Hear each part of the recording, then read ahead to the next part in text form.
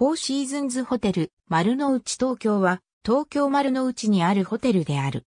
東京駅に隣接する複合ビルパシフィックセンチュリープレイス丸の内の3階から7階部分にビル開業の翌年オープンした。ホテルの経営体は土地を取得してビルを建設した香港のパシフィックセンチュリーグループの日本法人の子会社パシフィックセンチュリーホテルで運営はカナダ・トロントに本拠を置く、フォーシーズンズホテルズリゾーツが当たっている。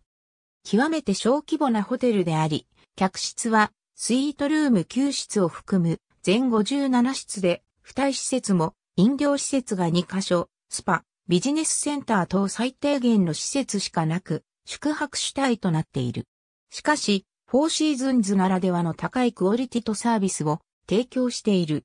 客室には42型プラズマテレビ、高速インターネットアクセス、ファックス、コピー、プリンタ、DID アクセスと複数の2回線電話が全室に装備されている。日本におけるフォーシーズンズホテルとしては、1992年に文京区関口の椿山省内にオープンしたフォーシーズンズホテル椿山荘東京に続く2施設目だったが、藤田観光とフォーシーズンズホテルズリゾーツとの業務提携契約終了に伴い、2013年1月1日、フォーシーズンズホテル椿山荘東京は、ホテル椿山荘東京にリブランドされた。など、ありがとうございます。